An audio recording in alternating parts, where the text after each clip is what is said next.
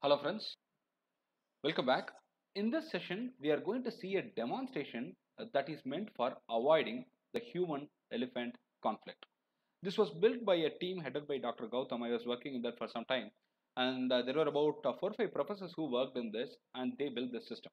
This system is called a human-elephant conflict avoidance system.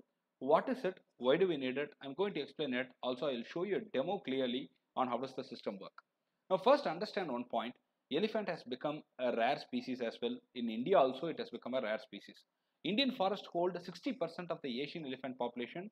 The habitat ranges for the elephants in the country are more or less fragmented and impacted due to increased human activity.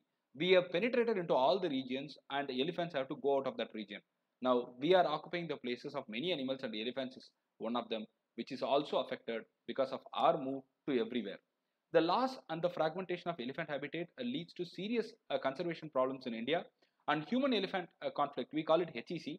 it is an important con conservation issue in India, especially in the forest fringes where protected areas are covered by highly fertile and cultivatable lands.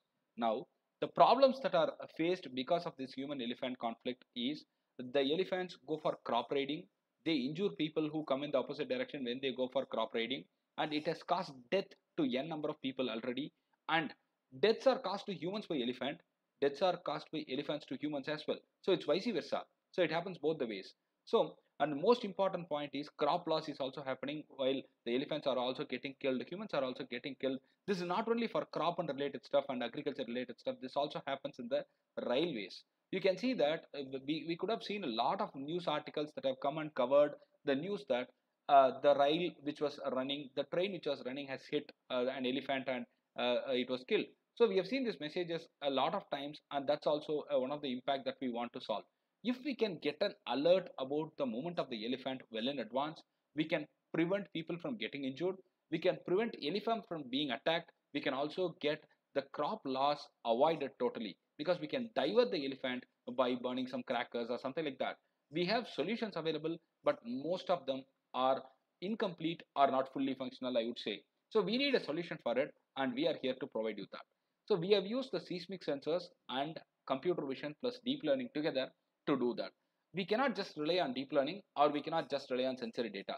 So we have combined these two to get a very solid system that is going to give you 100% accurate result.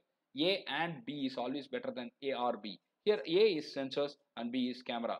We are going to use the seismic sensors that will get the vibration, the pattern of vibration from the elephant. Whenever the elephant walks, I would get the vibration. The seismic sensors get activated and they give you data. The camera is going to give you real-time feed and we are going to use our intelligent DL algorithm which can predict and understand if elephant is coming based on the training that we have made. We are processing it real time and I'm going to show you a very simple but a real-time demo that we have captured in Kerala uh, some time back and all these are very interesting. You can see that we have already planted the seismic sensors in this path of the elephant and our video feed is detecting, I mean our system is detecting from the video feed the elephant properly the bounded box. The elephant is nearing and the seismic sensors will get us the data. And we have already collected a lot of data, I mean the seismic data from the elephants and we are now comparing it with this data and if there is a match, if there is a close resemblance, we confirm that it is the data because of elephant nearing us. Because when there is a tree fall, that could as well generate seismic data. When there is some other animals walking or running around, that could generate data.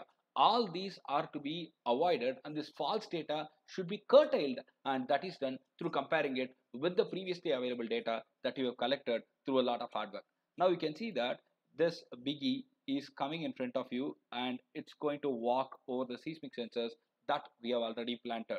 It's walking and I'll show you where exactly the sensors are plotted and you can see that the moment it nears there is a variation in the data and meanwhile our system also process the image and you can see that it's getting detected most appropriately and we can alert with that we can immediately send a signal you can see that the uh, variations are all real time and perfect and we can send out a signal immediately to the concerned authorities or to the villagers to say that see that there is an elephant coming be careful or burn a cracker to avoid further damages and this is all implemented and tested as you can see we hope to develop it to the next level to avoid further damages for elephants as well as for the human this is the system developed for human-elephant conflict avoidance. I hope you liked it. Thank you very much. If you have questions, please ask us and we'll be able to answer. If you like the content, please give a thumbs up. Thank you.